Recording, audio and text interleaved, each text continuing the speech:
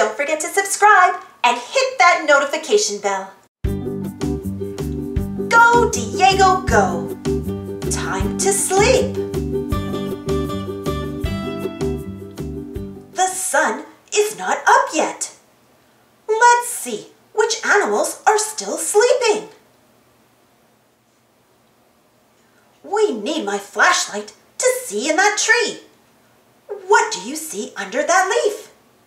Do you see a beak? Who do you see? It is a toucan. Is he sleeping? Yes, toucans sleep at night. Do you see something green under that leaf? There are six feet. Whose feet are they? I see three tree frogs. They have six feet and six red eyes. They are not sleeping. Tree frogs sleep in the day. Did you see something peek at us? I see upside down legs. Who hangs upside down in trees? It is Sammy the Sloth.